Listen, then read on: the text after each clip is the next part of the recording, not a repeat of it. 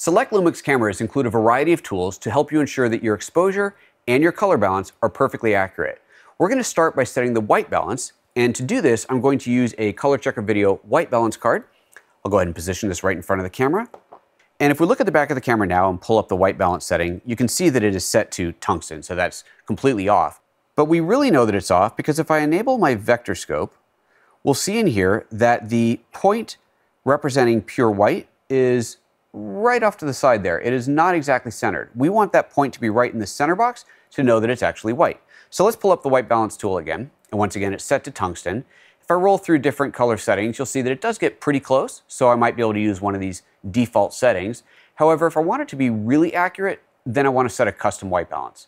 To do that, I'll go here to the first custom white balance setting. We can see in here that the current white balance that it's set to is really, really off. And I'll go ahead and set this by pushing up on the command dial and then pushing set. That does a color balance reading, and we can see now that the white balance is perfectly set as that dot is right in the middle. Now, the vector scope isn't just about checking your white balance. It is also, or primarily, for checking colors. Here I have another X-Rite product. This is the Color Checker Video Passport. This is the small version of this. And this allows me to get nice and close here and take a close look at the colors on the scene. Now, if we look at the vector scope here, you'll see that it is now spiking out to all the different color targets. This is showing me the accuracy of the color, shows me that each color on this chip chart is accurately being represented, and the length of this line shows me the saturation of it. Now we're currently in a Rec 709 profile. So this profile is designed to look very standard, very normal.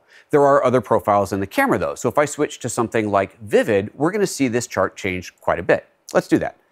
I'll go into the Q menu and then rotate this through to the Vivid profile, which is quite saturated and quite high contrast.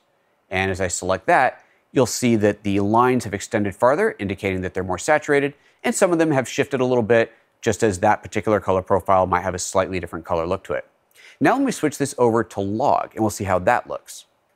Back into the Q menu, set this over to the log profile.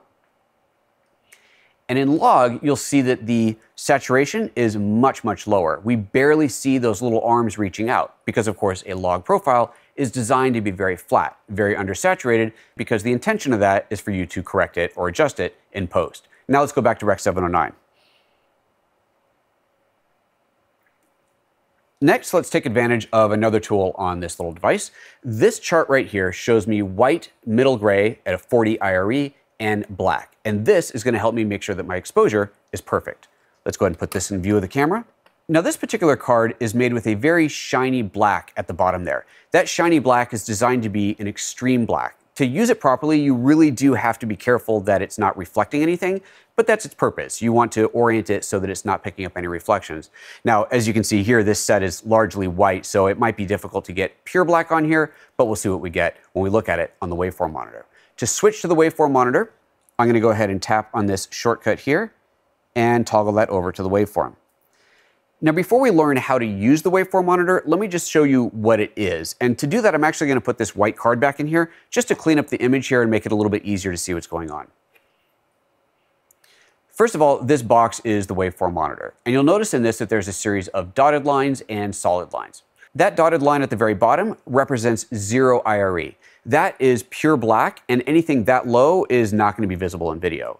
The line above that, however, is a solid line. That represents video black. As long as your darkest darks are at that line or above, they'll show up in video.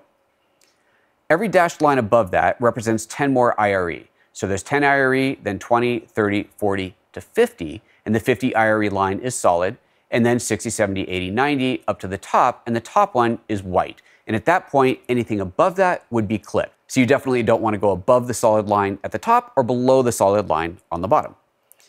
To adjust the exposure, we are going to use this line here, that white line, which is actually representative of this big white card here, to get that into the right spot. Now in this case, we're gonna go ahead back to the chart.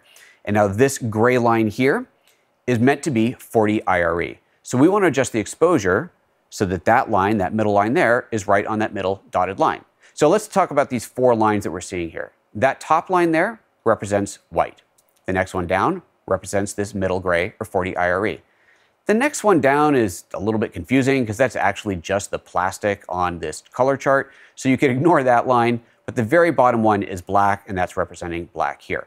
So we need to adjust exposure to ensure that the middle white line, that middle gray line, is right at 40. Now it looks like it's right on there, but I'm gonna go ahead and adjust the ISO of my camera to bring that into space. And as I bring that down, let's say right about there is pretty close. Now let's keep in mind that when you are adjusting the ISO or the shutter speed or the aperture of your camera, you are limited a little bit in the accuracy. You only have generally third stop increments. If you want extreme precision, you're gonna want to include a variable ND filter on your lens to make sure that you can get exactly where you wanna go. But this is close enough for this demo. The next feature I wanna look at is the luminance spot meter. I'm gonna go ahead and turn off my waveform monitor and then go into the menus and under the custom menu, then the monitor display photo page, you'll find luminance spot meter. I'll turn this on, and this puts a small box on the screen that is a very accurate spot meter showing me in percentages the light value. Here we can see that it's at 42%, which is just a little bit above 40% where we want to be. But again, for that level of precision, we would want to have a variable ND filter on here. But 42% is fine for now. As I move this up to the top over the white, you'll see here that the readout is 91%. So we're below 100%, we know that we're good. Remember, if you go above 100, you're going to clip. I'll take it down to the black, and at black, we'll see that we're at 2%. So again, just above black. So this is fantastic. This is a great exposure that is going to allow me to include my shadows, my highlights, and my midtones perfectly. Now let's switch this back over to log and see how this readout changes.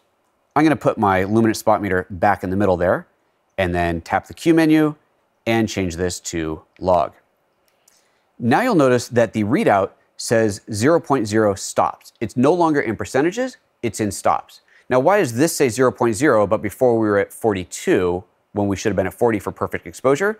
Well, in log, the perfect exposure is actually at 42 IRE, not at 40. So in this case, that 0.0 stops is spot on. So now this is exposed perfectly for log.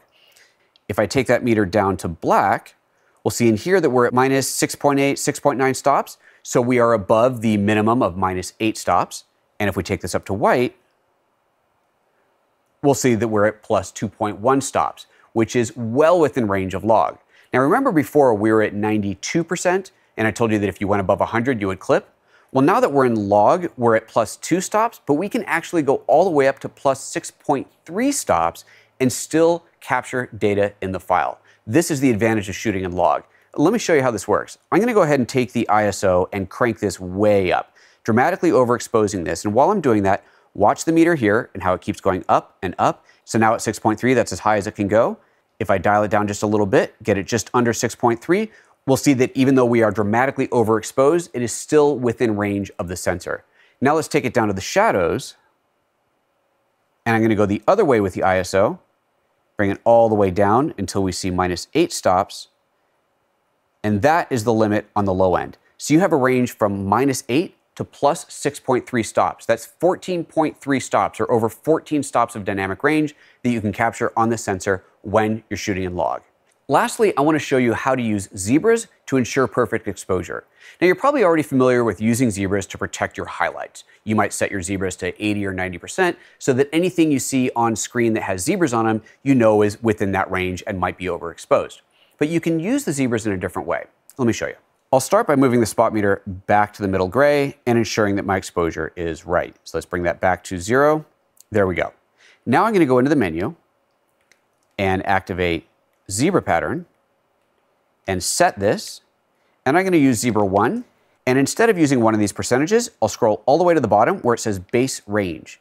The default position for base level is at 0 stops with a range of plus or minus 0.2 stops.